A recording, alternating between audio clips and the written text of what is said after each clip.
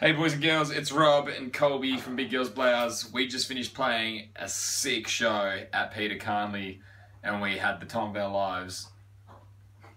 We want to thank all the staff and teachers from Peter Carnley for having us. Boys and Mary. And we want to, it's Colby's favourite ice cream. Yeah. we want to thank all the boys and girls I don't know if I that were, yeah, mm-hmm. it's awesome. It's really fruity. Mm-hmm.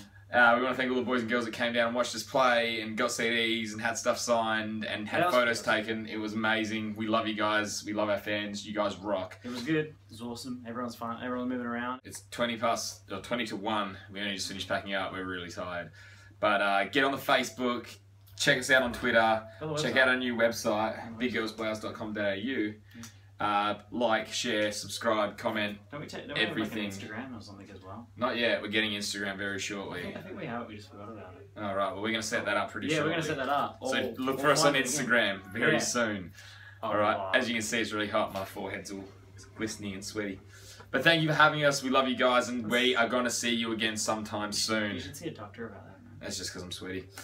We're going to see you guys sometime soon, and we can't wait. Peace out. We're Big Girls Blouse.